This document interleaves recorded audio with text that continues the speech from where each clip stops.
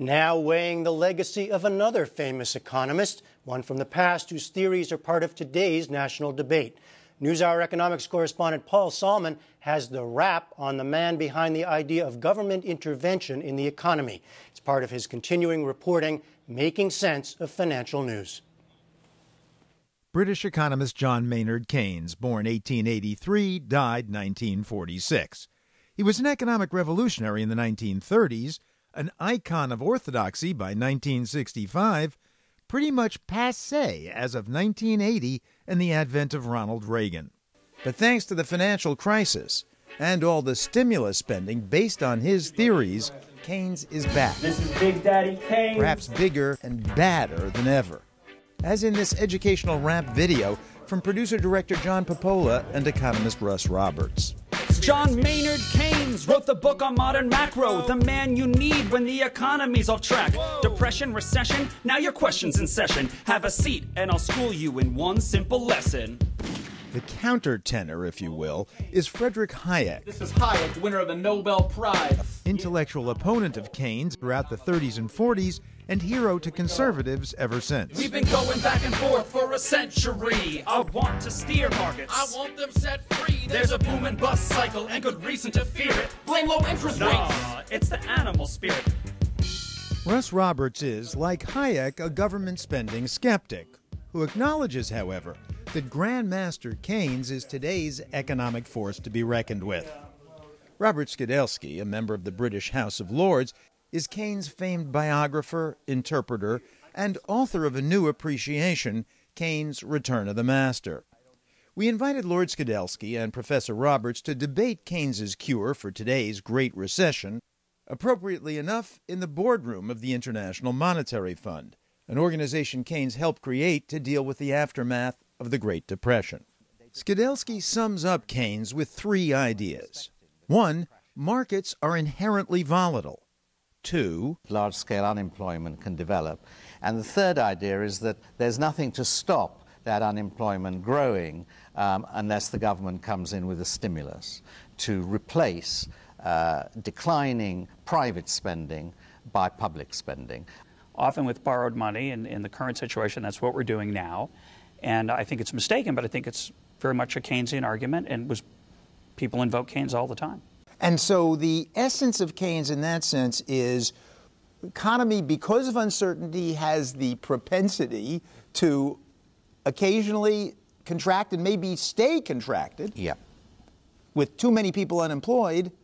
Therefore, whenever that happens, we've got to, as a government, spend the money to get the economy back up and moving. Absolutely, and you don't wait until you've reached this low point before starting spending. You, you, you intervene in the downward slide by injecting extra aggregate demand into the economy. Aggregate demand means just more just spending more spending, everybody. yes, total spending. I had a real plan. Any fool can understand. The advice real simple. Boost aggregate demand. What's not to like about stimulating an economy when millions of people, 15 million at the moment at the very least, are, are out of work?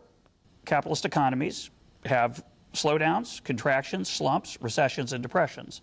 Some of that is due to natural forces, some due to government mistakes.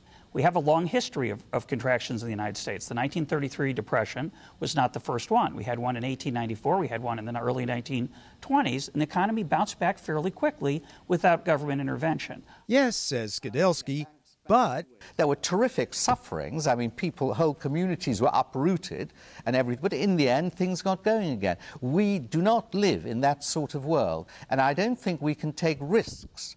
Uh, of the kind I think you're implying. Uh, I think the political downsides of taking those risks are going to be too great. And in Germany, they were absolutely horrendous in the early 30s. Is that not true? Well, my claim is that in our attempts to engineer our economy from the top down. We've actually made, in many, many cases, the world less secure, workers less secure, and lowered our prosperity and hurt people. Because otherwise the system would have adjusted. Would have gone better. To Keynes, however, it was spend or suffer, as the Papola Roberts rap recounts. Boom, 1929, the big crash. We didn't bounce back, economies in the trash. Persistent unemployment, the result of sticky wages. Waiting for recovery? That's outrageous. A modern economy doesn't quickly adjust to a shock, Keynes argued. Prices don't simply plummet until consumers will buy again. People are loath to sell their homes at steep discounts. Workers unwilling to take deep pay cuts. That's why prices and wages are called sticky. Government has to protect the economy from itself, Keynes thought. But Roberts thinks markets, unprotected, do a better job. What markets do is they punish you if you systematically make the same mistakes over and over again. When you destroy the punishment system that markets naturally perform, you're going to see more myopia, more hubris, more overconfidence. Yeah, but look, could it, just, we, it's interesting the word you. They punish you. Uh, if it was just that you made a mistake and the markets punished you because you were out of a job, that's fine. But they actually punish millions of people for the mistakes of quite a few people. And no government, no democratic government, is going to allow that degree of punishment. And unemployment, for long periods of and, time. And the bankruptcy of lots of companies who are not making mistakes. They're just affected by the people who have made the mistakes.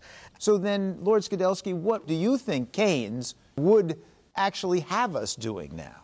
I think he might have wanted a bigger stimulus, actually, because the stimulus hasn't actually brought about a recovery. It's stopped the slide. But what would he have said to the comment, look, in the long run, it will all turn around and be okay? He would have said in the long run, we're all dead. I don't think he believed that economies would remain depressed forever. He thought they would recover, but that they wouldn't recover fully to a full employment position once they'd been severely shocked without a, a, a continu, continuous stimulus for a long period. And I think that's the prospect we face today, actually incomplete recovery. And do you not worry about that? Well, unfortunately, what Keynes has done is he has given solace to politicians who want to spend money wastefully on special interests rather than on things that would help us. Uh, that, that, that completely unfair? No, not completely unfair. There's a lot of waste. There's going to be a lot of waste in this, but, but the waste doesn't matter. There's more waste if you have heavier unemployment. You see, you're, you're, you're balancing a, a smaller waste against a larger waste. There's no, no ideal way out of the hole. This right now, right now, not six months ago, not two years ago, but right now is a problem of anxiety, wariness about the future. The question is how do you create people's confidence going forward? And thus the question becomes one that Keynes posed 70 plus years ago. Amidst the irrational ups and downs, how do you nurture the real impetus of economic growth? Confidence, optimism, animal spirits. There's a boom and bust cycle and good reason to fear it. Blame low interest rates. Nah, it's the animal spirits.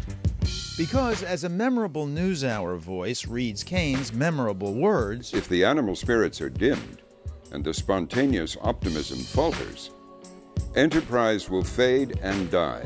but, says Roberts, You have to face the possibility that the stimulus package, which has increased our federal uh, deficit this year to maybe $1.5 trillion, is actually discouraging confidence.